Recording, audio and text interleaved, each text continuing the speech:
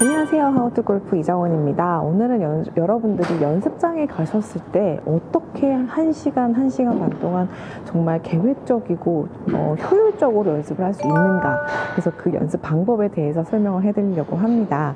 일단 제가 연습장에 왔을 때 많은 분들이 저와 똑같이 똑같은 시간에 표를 끊고 와서 연습을 할 때 딱 시작 하는 게 벌써 다르더라고요. 프로들 같은 경우에는 거의 짧은 채부터 서서히 긴 클럽으로 올라가게 됩니다.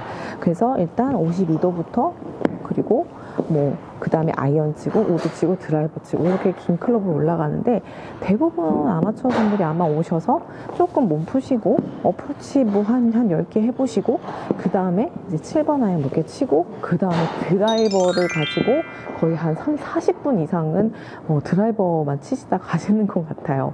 그렇게 하게 되면 어, 사실 드라이버 스윙만 하다 보면 또 다른 여러 문제점이 나올 수가 있어요. 어찌됐든 나는 같은 스윙을 하고는 있지만 어쨌든 아이언과 드라이버의 컨택되는 그 느낌은 분명히 다르기 때문에 드라이버만 치시는 것보다는 이제 아이언도 치고 여러 가지 클럽을 다 여러분들 골고루 연습을 하시는 것이 가장 좋습니다. 이 연습장에서 여러분들이 그냥 연습을 하는 것이 아니라 분명히 내가 지금 어떠한 부분에 문제가 있고 그다음에 어떠한 것을 고치려고 연습을 하실 겁니다. 그래서 이게 어떤 식으로 고쳐 나가야 되는지까지도 설명을 드릴게요. 자, 첫 번째는 일단 한 여러분들 보통 1시간에서 1시간 반 정도 연습을 하시는 것 같더라고요. 그래서 1시간으로 일단 기준 설명을 드리면 한 20분 정도는 여러분들이 모든 클럽을 그냥 한두 알씩, 한 뭐 두세 알씩 또는 다섯 알씩 한 번씩 툭툭 쳐보세요. 그래서 자, 제가 일단 52도로 한번 먼저 쳐볼게요. 저 같은 경우에 52도부터 시작을 하는데요. 52도로 먼저 뭐한 여기 여기 탁 맞추는 거 요거 뭐 한 세네 알 탁 치고 자 그 다음에는 스윙 크기를 조금 크게 해서 한아 요렇게 치면 한 20m가 가겠구나 자또 탁 쳐요. 이때 뭐 뒷땅이 맞던 타핑이 맞던 전혀 신경 쓰지 마시고 그냥 내가 몸을 푼다고 생각하시고 편안하게 치세요. 자, 그 다음에 좀 스윙 큰 크게 해서 이번에는 캐리로 한 20 정도 떨어뜨려야겠다. 자, 그 다음에는 또 스윙을 조금 크게 해서 캐리로 30m 정도 떨어뜨려야겠다. 자, 그러면 이번에는 조금 더 크게 해서 40 정도로 스윙을 조금 더 크게 해서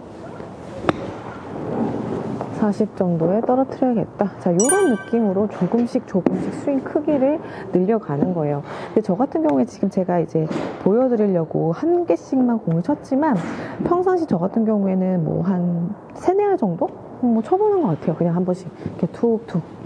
툭툭 쳐봐요. 자, 이렇게 52도가 끝났으면 그 다음에는 이제 다른 더 높은 클럽으로 올라가야 되는데 이게 아이언이 양이 많잖아요. 클럽이 많기 때문에 어, 이거는 뭐 많은 영상에서 보셨을 거예요. 홀수와 짝수로 나눠서 합니다. 그래서 그건 저도 마찬가지예요. 오늘은 홀수, 그 다음에 내일은 뭐 짝수. 그래서 뭐 예를 들어서 오늘 홀수다. 그러면은 이제 그 다음으로 9번 아이언을 가지고 와서 이제 공을 칩니다. 이것도 마찬가지예요. 그냥 공 맞고 안 맞고 신경 쓰지 마시고 그냥 툭툭 쳐보세요. 이때 리듬 템포만 여러분들이 조금 신경을 써주시면 좋아요.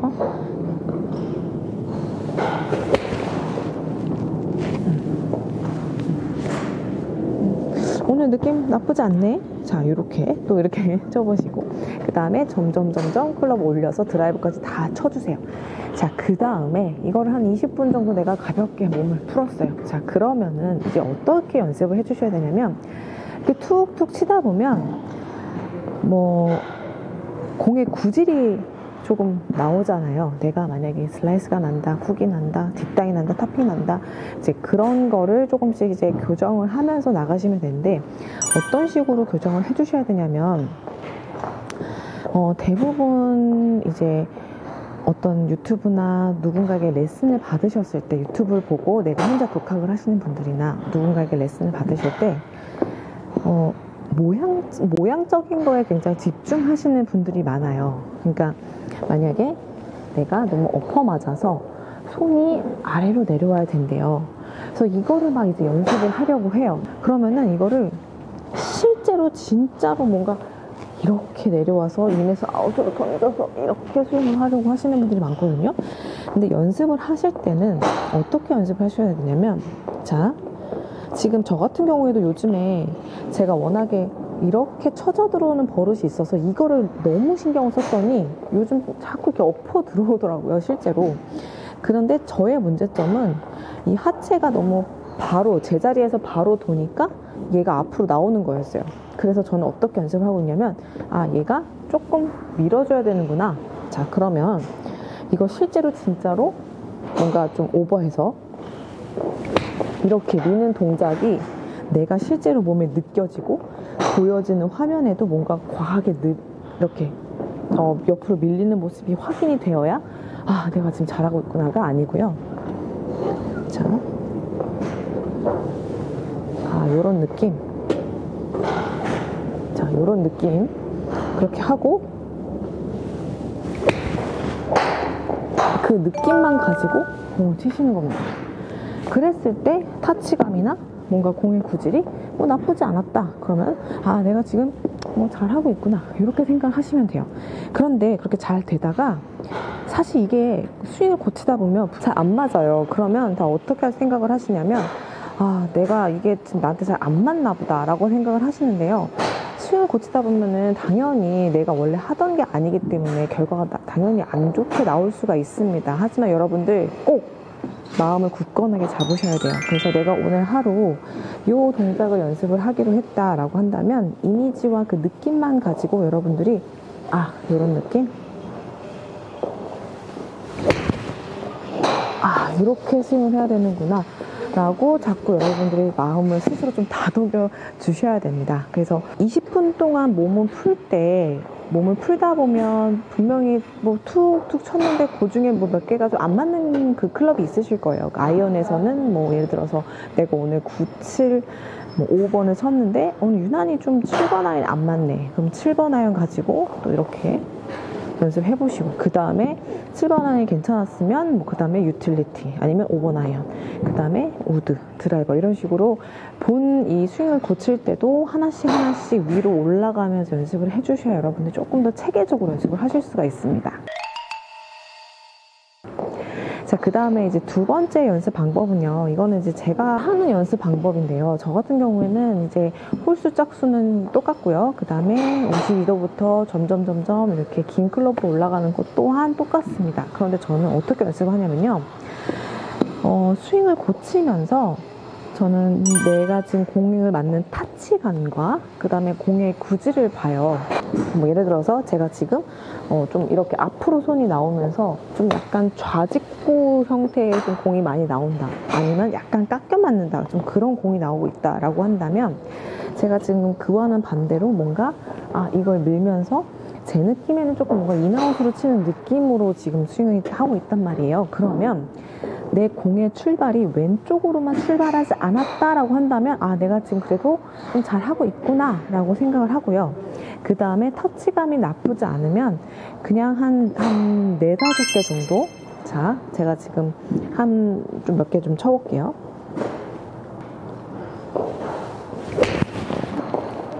음. 자 지금 약간 왼쪽인 것 같긴 한데 뭐 나쁘 괜찮았어요. 그러면 하나 그 다음에 다시 자, 이런 느낌? 와 지금 잘 맞았어요. 자 그러면은 둘.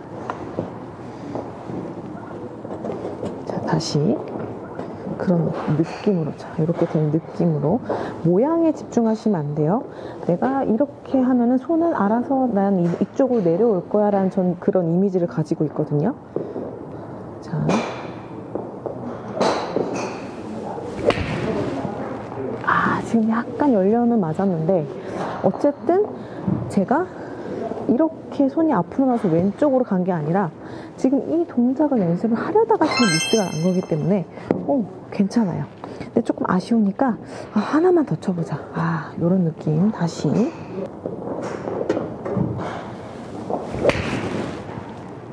와, 받침도 잘 맞았어요.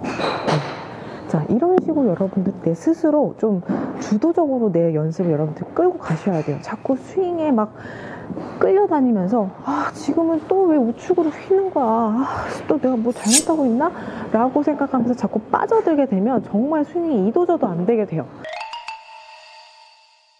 제가 생각했을 때 공의 구질이나 타치감이 뭐 지금처럼 한 3, 4개 정도 잘 맞았다. 그러면은 저는 다음 클럽으로 넘어갑니다. 그렇게 해서 어, 저 같은 경우에는 웨지부터 이제 뭐 쪼- 홀수 짝수 이렇게 나누고 그 다음에 마지막 드라이버까지 어, 이렇게 해서 모든 클럽을 다 치고 이제 집에 가는데요. 연습을 하는 양이 중요한 게 아니라 여러분 연습을 어떻게 하느냐가 정말 중요합니다. 그래서 여러분들 연습을 하실 때는요, 꼭 조금 더 효율적으로 연습을 하시고 좀 스윙 고치실 때는 이미지와 조금 더 느낌에 주- 집중을 하셔서 연습을 해보시면 훨씬 더 여러분들이 좀 더 가벼운 마음으로 그 다음에 어, 골프를 조금 더 즐겁게 치실 수 있을 거예요.